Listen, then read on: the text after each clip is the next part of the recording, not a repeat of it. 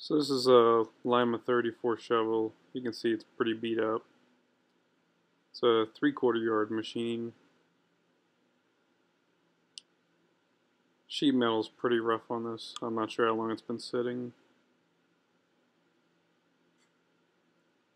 You can see through the back there. Pretty beat up. Lots of jack shafts and chains to run this machine. You can see how there's some adjustments on the chains here. Another jack shaft, and then the chain runs up the boom. This here, that's the trip for the bucket. See the little piece of angle iron there on the crowd lever. There's the serial number. Can see the tubular dipper, the rack on it. Piece of angle iron there on the crab lever, so you get a little more leverage. Three quarter yard bucket. Decided to do a voiceover on this because the wind was pretty bad. I didn't get good audio.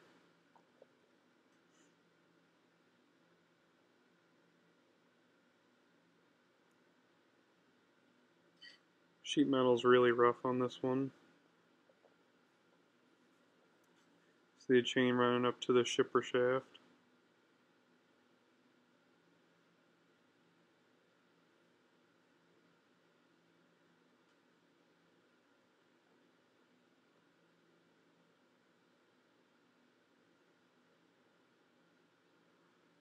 Bunch of chains on this.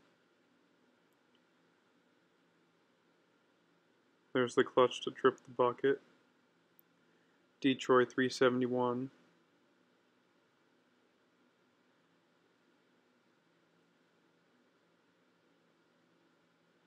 There's the hoist for the boom. Different than mine, mine has worm drive.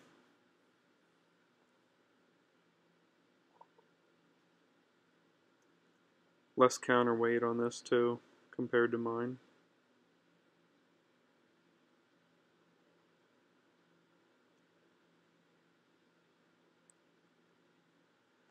Machine is mechanically complete, but said sheet metal is bad. Wouldn't mind adding it to my collection one day. Not currently for sale though. Here's a couple pictures of a restored 34 in Bowling Green. This one's cat powered.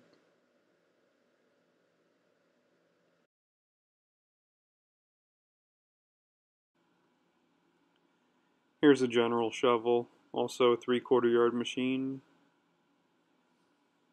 Sitting a long time. You can see there's no access panel into the rear of the engine compartment. I think this is a Buda six cylinder diesel. Not sure if anybody could verify that. Kind of a quick video because I was pressed for time. So you can see on the outside of the house, there's a catwalk to go from the operator station to the engine compartment, or vice versa. This one also has a chain drive for the crowd, similar to the Lima. Operator station's pretty cramped.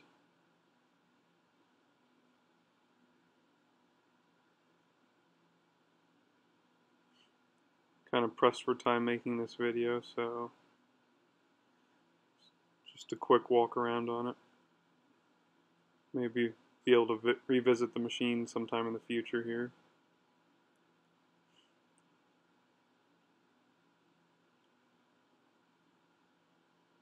Another view of the engine. Like I said, if anybody can identify that, it'd be pretty cool to know it's Buda.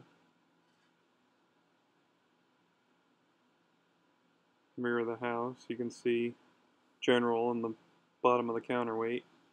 Most of the weight's inside the house.